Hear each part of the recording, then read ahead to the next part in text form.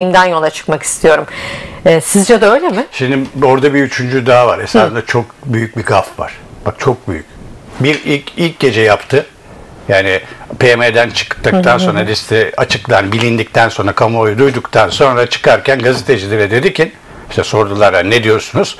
Gazeteci de dedi ki değişim nerede diye soranlar İzmir'e İzmir, baksın. evet. Bence bir genel başkanın söyleyebileceği en büyük gaflardan biriydi. Kimin intikamını alıyorsun? Kimden alıyorsun? Neden alıyorsun? Bana ne? Ben İzmirliyim, vatandaşım. Değişim. Ya değişim değişim nedir biliyor musunuz? Sen kendin partiyle ilgili de, yani kendi içinde ne değiştireceksen neyi değiştir. Bana sadece değiştirdiğinin bana yarayacak tarafını göster. Öyle değil mi? Ben seçmenim. Vatandaşım. Yani bakarım ha ne güzel derim bu adamlar doğru adamlar falan bilmem ne. E sen kendi parti içindeki o güçsüzlüğünü diyeyim bakın. Güçsüzlük diyorum bak. Genel başkana güçsüzlük diye söylüyorum. Çünkü güçlü değil. Çünkü bir bacağından e, başkaları çekiyor, bir bacağından başkaları, kolundan başkaları, ondan başkaları. Bu kadar dengede durmaya çalışmak bile insanı yorar. Yani bu dengeyi tutturmaya çalışmak bile insanı yorar. Onun için yorgun zaten. Artı bir de kafasında hala işte kongre var, kafasında hala e, intikam var, kafasında hala e, kendi kadrolarını kurup işte bir sonraki kongrede biraz olsun daha güçlü olmak var filan. İmamoğlu ile olan savaşı var. Öbür tarafta Kılıçdaroğlu'cularla olan savaşı var. Ben hani o tarafına girmiyorum e, çünkü öyle olmasını hiç, hiç, hiç yani düşünmüyorum. Her iki tarafta da yanlış hani şey. İşte bu Alevi tarafı ta, hani Alevi kökenli olanları da e, o da Kılıçdaroğlu'ndan kaynaklı e, tasfiye ediyor, tasfiye etmeye çalışıyor falan diye. Ben zaten buna oldum olası karşıyım. Onların da tabii aynı şekilde karşı taraf öyle davranmış. Ya bu Alevi Sünnilik meselesine karşıyım zaten. Bunun bir de bir partide olmasına çok daha karşıyım. Çünkü bu, bu başka bir şey. Bu inanç meselesi ve biz bir bütün olmak zorundayız.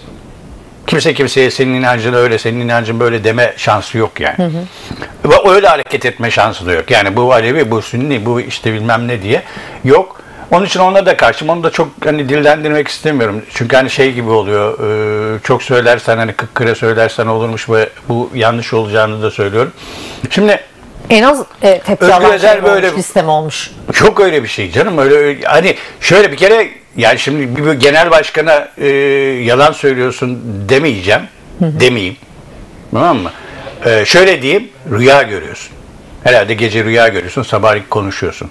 Çünkü e, bakın bu liste eğer ki e, daha da klik yani öyle diyeyim daha da şey olsa bu liste tepki gören liste değil. Ben evet şeyde de 2014'te de böyle bir e, şey olmuştu. Evet ama o zaman şöyleydi bak olay. E, senin dediğin işte yani adaylar itiraz etmişti. Yani şey dördüncü sırasındaki aday işte üçüncü sıradaki aday işte bilmem nereden çıkan aday ben bir de çıktım ama o iki falan e, şeyi vardı. İki biraz da tabii şey vardı. Kocaoğlu işte o zaman da e, Soyer'in e, işte adaylığı söz konusuydu. Orada bir esas hani onun tarafı bunun tarafıyla bir e, sorun vardı. E, sonra ama Kocaoğlu'ya işte 300 yıllık meşhur dava açınca AK Parti e, Kocaoğlu'nun ekmeğine yağ sürünce e, şeyde doğal olarak e, o zamanki yönetimde doğal olarak Kocaoğlu'nu yalnız bırakmama adına e, sonuçta Büyükşehir Belediye Başkanı'na iş e, yaptıklarından dolayı 300 yıl dava açılmışsa e, ona da sonra e, bırakırsan bu şey gibi doğru sen haklısın al yargıla al ne yaparsan yap demek gibi olacağı için de mecburen 2014'te zaten Kocaoğlu'na bir daha aday verildi. E, do- 2019'da mesela çok hani değişim olacağı aynı böyle yani nasıl biz şimdi Zaten Soyer'i ben aday değilim demişti. Aziz Son aday oldu canım. Son aday oldu evet. e, nasıl Soyer'in ismini tabii, duyunca. tabii, nasıl e, yani e, Soyer'i e, biçecekler, diğerlerini biçecekler diye öngördüysek o zaman da Soyer gelecek. Hani Kılıçdaroğlu'na bu sefer artık tamam diyecekler. Ve doğal olarak Soyer gelince de bazı yerler değişecek.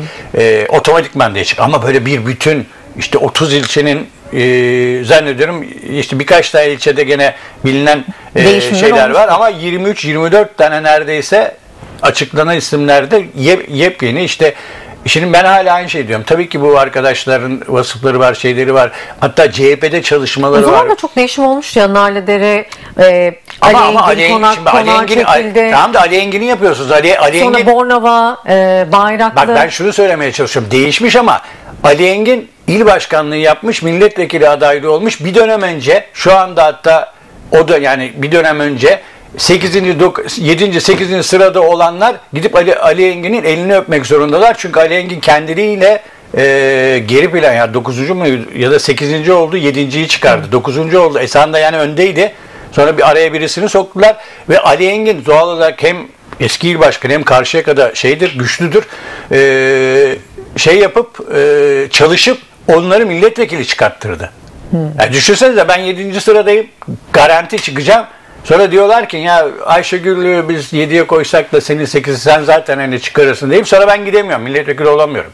Zaten Ali Engin'e bir borçları vardı. Sonra da ha tamam o, o şey işte kal- aldılar şeye verdiler. E, Narlıdere'ye verdiler. Yani Karşıyaka Narlıdere ne dersiniz gibi e, bir şey.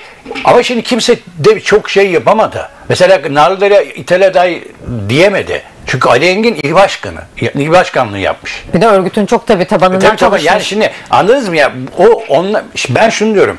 O Gene bu arkadaşlar öyle olması bu arkadaşlar vasıflı. Bu arkadaşlar mutlaka CHP yani CHP işte bir tek o iş çimenleri biliyoruz. Onu da babadan bağladı hatta o günkü açıklamasında. evet, İşte babası eski. E tamam o zaman benim çocuğum da e, gelsin işte gazeteci olsun gelsin ne bileyim işte bir yerde ha babası da iyi gazeteciydi o zaman bu da iyi gazeteci al bunun başına geçsin gibi bir şey bu yani. Babadan oğluma geçiyor milletvekilliği. Nerede çıktı hani padişahlık bitmedi mi?